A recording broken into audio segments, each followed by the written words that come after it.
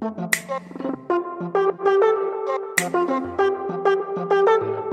what's up guys? Thanks for clicking on the video. Hope your day is going fantastic. The one thing I want to warn you about is that if you do not watch these videos of the Back to Big series in preferably sequential order, it's really not going to make much sense to you because we really are just picking up where we left off. So I just finished recording for the last video, but we're going to end the video here. So tune in for episode three and you guys will get to see the big announcement. A little bit of a cliffhanger there, but we're going to get into it now. So I'm going to actually head off to the gym, hit this workout, and we will talk very soon.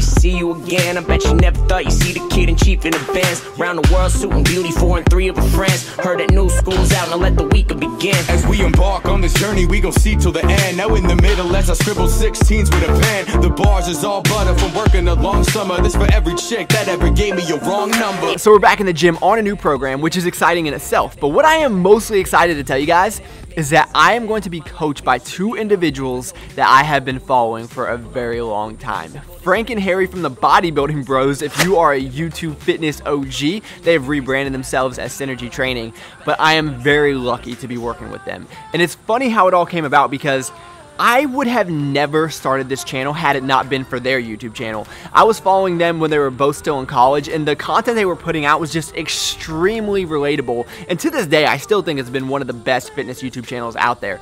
So I became a fan of their channel, and then I was like, you know what? I could do this. So that is that was really the last straw that got me to finally be brave enough to start my own channel up. So very fortunate for them for sure, and honored to have this opportunity. I mean, these guys are so knowledgeable. And what I want to caution you guys against, because some of you are probably hearing their names for the first time, but that doesn't matter to me. Like, just because someone has the biggest following out there, that does not make them a great coach. And that is really one of the messages I want to get across in this video because I think everyone is like trying to get in with these big names and let's use, what's that, uh, that Shreds guy, that Devin Physique guy that had all that controversy. Like everyone wanted to work with him. He had this huge following, but he was essentially, you know, like a piece of crap. I mean, he was just frauding all of his clients.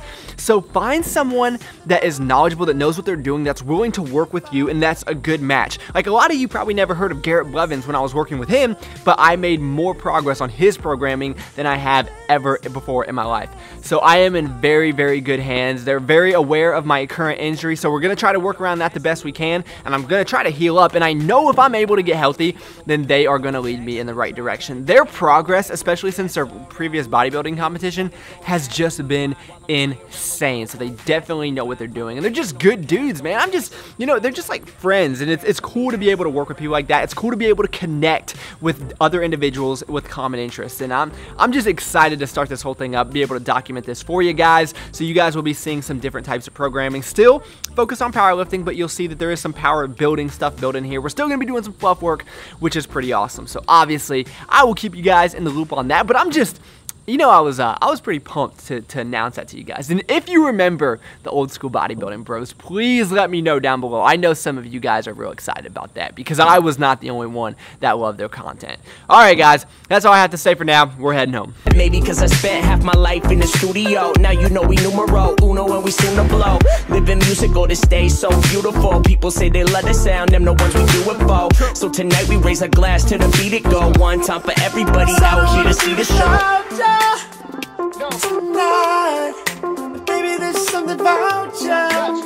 So no lie, this thing is a forearm workout. And I've never tried zucchini pasta, but I've seen it on Josie's channel back in the day. And I was talking to someone when I was in Colorado, and they were like, you should get a Nimnac. And this is what it is. Essentially, it just spiralizes vegetables. So I'm gonna give this a try. Obviously, you get a ton of volume here, which is always a good thing. So I'll probably grill up some chicken. And right as I said that, of course, it looks like it's about to tornado out here.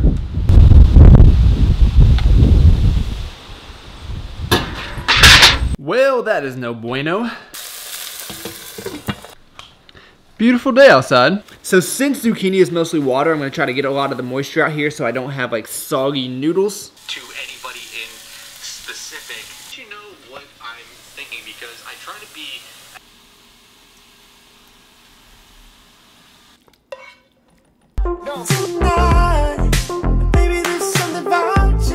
So we're gonna give these, I guess you call them zoodles, a try for the first time.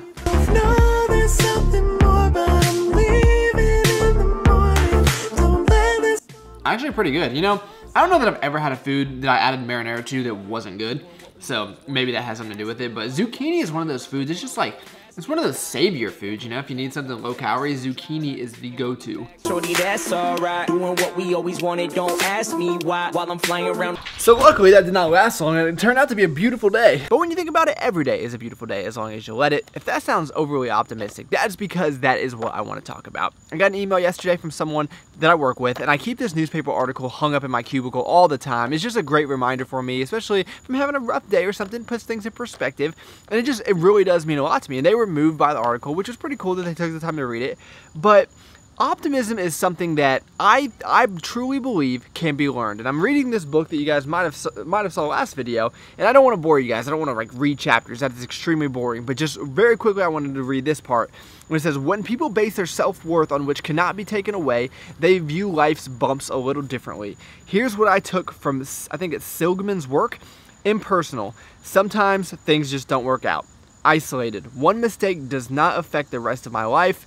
Impermanent, things will be better next time. And he even goes on to say how empowering that is, which it is when you think about it. And I, uh, what I get from this is that you can teach yourself to be more optimistic. And inevitably, bad things are going to happen, but it is all about how you react to them. And I think the most enjoyable people to be around that I found in my life are those that are optimistic. So I, I think I got to the point where it was like, why would I not want to be like that? And I've done a pretty good job over the past few years of kind of implementing more of these strategies into my daily life to, to kind of see the glass half full. And I think it's really done a lot, a lot of good. So that is my spew on that. Another optimistic thought for the day is we are about to make some pizza. And we're gonna make the pizza crust out of, you guessed it, cauliflower. I've been putting this off for a long time because I know people that can cook pretty well that have messed this up. So I'm like, oh my gosh, I know I'm gonna screw up, but I figured let's just do it. So what I'm gonna do, that didn't sound very optimistic, did it? Here I am being hypocrite. So I'm just gonna put this on the skillet. This is two cups of cauliflower. Then I will add one whole egg into this bowl and I will scramble it around. Then I will throw in one cup of cheese and I will also throw in that cauliflower once it's done cooking up on the skillet.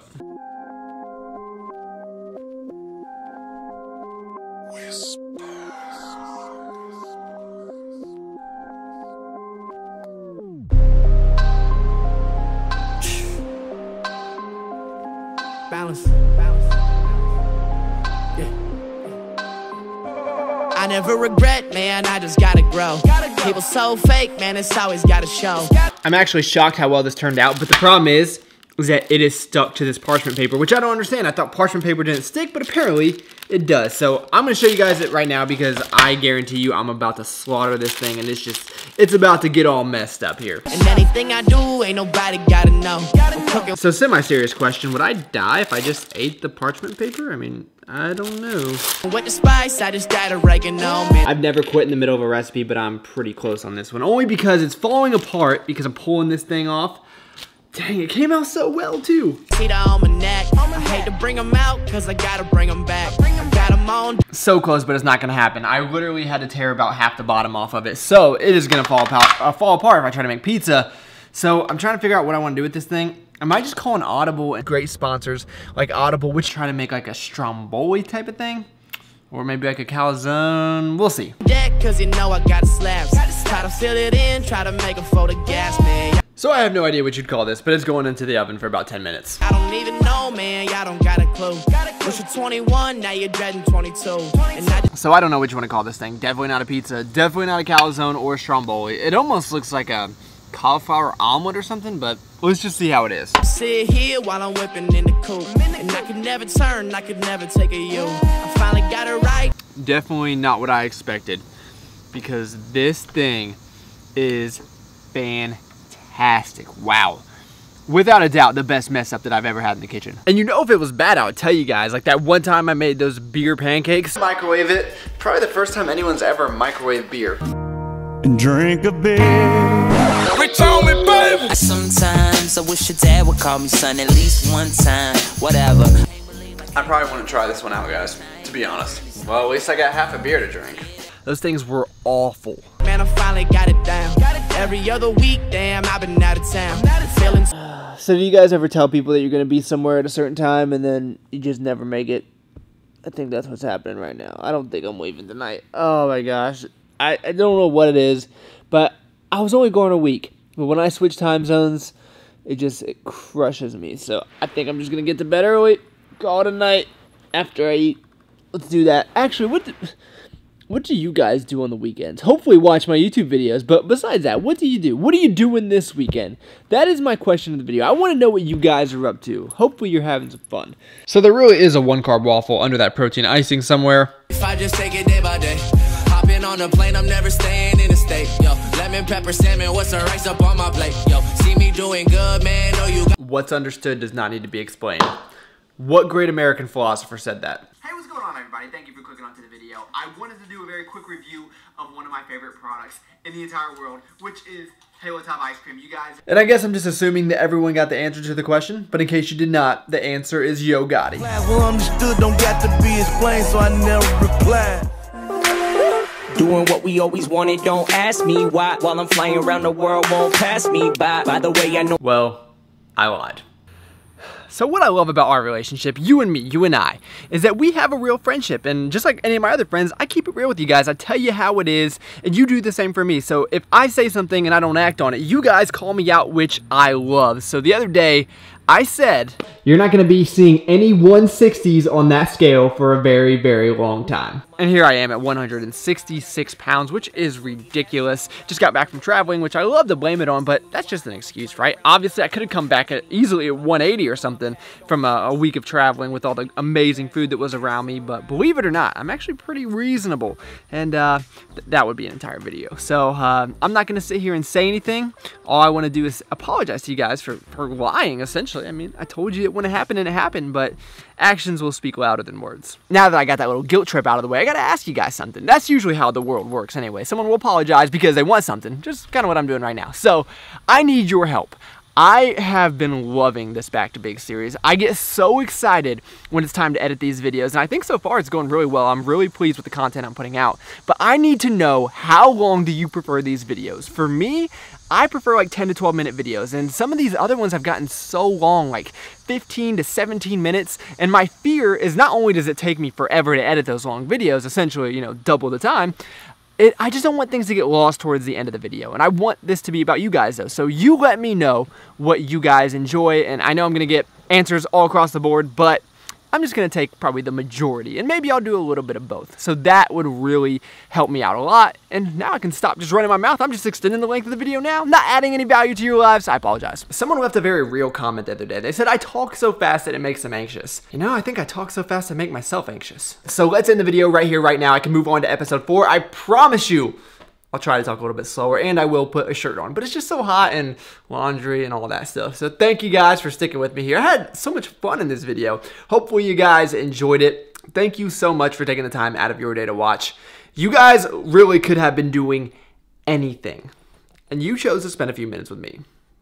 That's pretty awesome. Please give this video a like if you enjoyed it. That thumbs up button, that guy right there. It's so easy for you to do, and it helps me out tremendously. I look forward to talking to you guys next time in episode number four. And by the way, since I am so light, you know, uh, there's there's some exciting things about to go down tonight, so uh, stay tuned. Damn it!